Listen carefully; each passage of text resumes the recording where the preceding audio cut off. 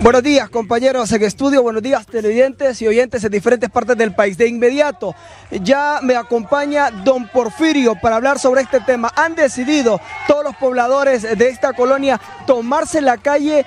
¿Cuál es la principal exigencia? Porque mencionan de que no tienen agua, de que las personas que están cerca de aquí, eh, de estos tanques, no le brindan agua, don Porfirio. Buenos días HSH, buenos días al abogado Maldonado.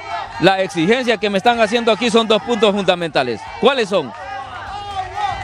Ahorita es no dejar pasar aquí ningún tanquero y lo otro es sobre la problemática del muro. ¿Por qué razón? Porque el SANA permite a los tanqueros que ellos vengan a llenar aquí las bombas de agua y nosotros no, no nos dan agua. hay un resaneamiento a mitad de agua porque a ellos, si les dan el agua, ellos aquí, ¿será que hay un monopolio nosotros que vivimos aquí cerca, no nos dan ninguna gota de agua.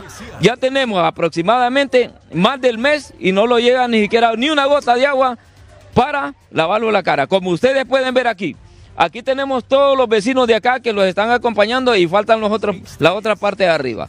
Ahora, las acciones por parte de ustedes van a continuar hasta cuándo? ¿Hasta cuándo van a permitir que los tanques puedan ingresar, eh, entrar y salir aquí al Sana? Muy buena pregunta la suya, amigo. Eh, nosotros vamos a terminar y vamos a accionar a esto cuando lo solucionen, lo solucionen las, las acciones que nosotros hacemos. De lo contrario, vamos a estar aquí en pie de lucha.